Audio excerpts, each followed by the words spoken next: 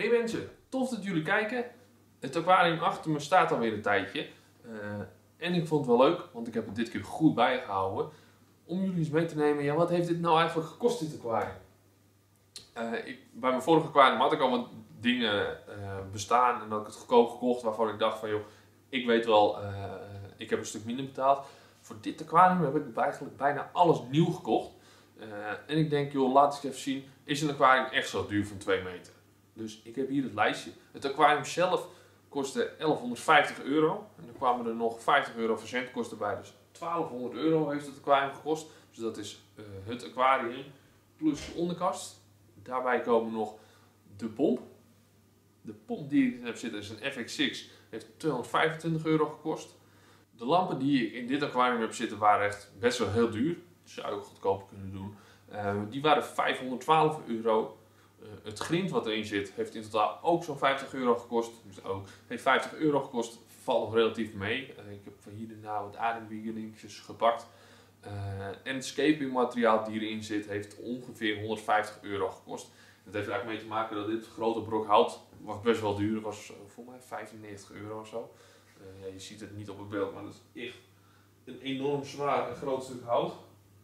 Ik zie met alle erop zitten. Dus ja, die was 95 euro. Nou, vond ik ook wel vrij prijzig. Uh, en de rest, de stenen waren niet heel duur. Uh, en dan komen we nog bij de planten. Die moet ik even opzoeken. Uh, de planten hebben me in totaal 75 euro gekost. ja, eigenlijk wat meer, maar er zijn wat planten dood gegaan. Dus die doe ik er even niet bij. Maar de aquarium S is, zoals het achter me staat, heeft hebben de planten 75 euro gekost. Uh, en dan komt er nog een wavemaker bij van 35 euro. Van EH Streamon 3500. Uh, die zit erbij. En dan de verwarming, die was ook 40 euro. En de CO2 set komt ook nog bij. Die was 175. Uh, ja, klopt. Hij was eigenlijk wat duurder, maar er zat een glazen buis bij. En ik heb er een goedkopere opgezet, want de glazen, zoals u weet, is in een eerdere video stuk gegaan. Dus dat is 175.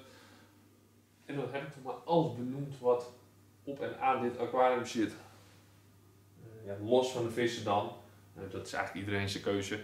Uh, maar dan komen we uit op totaal van 2300 en ja, even 50 euro. Ik had een klein rekensommetje, want de lampen waren niet 512, maar 502 euro totaal. 4, sorry, 504. reken is normaal mijn sterkste punt. Voor de camera is dat toch lastiger. 504 euro, 252 keer 2 is 504. Uh, en dan komen we dus in totaal uit op 2347 euro. Ja, dat is serieus geld. Kijk er nu vanop. Eigenlijk. Maar dan heb je wel je aquarium zoals ik hem helemaal wilde, zonder vrijheidszorgen. Zou je dit uh, zelf goedkoper kunnen doen? Ja, zeker weten. Als je je aquarium op maat laat bouwen. Nou, ik denk het eigenlijk niet de aquarium zelf was niet heel duur. Uh, de meeste kosten gingen in alle uh, om- en aan dingen. Ik denk dat je de lampen heb je veel kunnen besparen als je uh, een wat goedkopere verlichting doet. dat is, ja, dit is 500 euro, is best wel heel veel geld voor lampen. Je kan ook LED-strips halen. je hebt wel wat duurdere spelers in Nederland, maar je kan ook best wel een goedkopere variant. en dan heb je LED-systemen van 100, 150 euro. kan je al best wel wat, ja, wat goed spul kopen waarmee vissen goed verlicht zijn. En dan komen nog de maandelijkse kosten. Want het grappige is dus dat eh, ik woon nu al wat langer in dit huis, dus ik weet precies elke maand wat ik betaal uh, aan gas en licht. En dit aquarium is erbij gekomen. Dus ik kon precies uitrekenen hoeveel dan de, opkwam en eraf. Dat is het voordeel namelijk met slimme meters. En dit kost ongeveer 40 à 50 euro per maand om neer te zetten. En dan denk je, yo, dat is veel. Het is wel ijskoud buiten. Ijskoud. Nou, het is gewoon 3, 2, 3 graden buiten. Uh, en s'nachts wordt het, wordt het huis wel een stuk kouder. Uh, en er moet best wel gestookt worden om dit aquarium op temperatuur te krijgen en te brengen. Ja, ik hoor jullie denken, het is toch bijna zomer. Maar dit filmpje is al een tijdje geleden opgenomen. en daardoor kost het nu wat meer. Ik denk dat het in de zomer wel weer een stuk minder zal zijn, want dan kan je eigenlijk gewoon bijna koud water erin doen. Uh, want dan is het water uit de kraan is dan ook zo rond de, hm, het zal zijn 20 graden. Dan kan je het er makkelijk bij plaatsen, want het zal de temperatuur niet zo schommelen. En dan eh, is je aquarium ook veel sneller op temperatuur. Dus ik denk dat al met al dat het ongeveer 30 euro per maand kost aan stroom. Of 30 à 40 euro om dit aquarium te houden. En lees wel, het is een relatief koud huis waar ik in woon. Het is vrijstaand, uh, veel wind erop, dus ja. Dus zover de kosten van dit aquarium.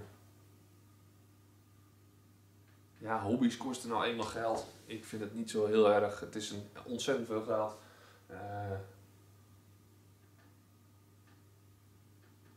wil je visjes wil je wat leuks geven. En ik, wil er zelf ook niet veel zorgen voor hebben. Je kan ook best wel prima tweedehands, net zoals ik met het andere aquarium heb gedaan. En je kan goedkope lampen en je kan een tweedehands pomp kopen. En je kan heel veel goedkoper, maar soms is het wat makkelijker om gewoon online te bestellen en dan wordt het geleverd. Uh,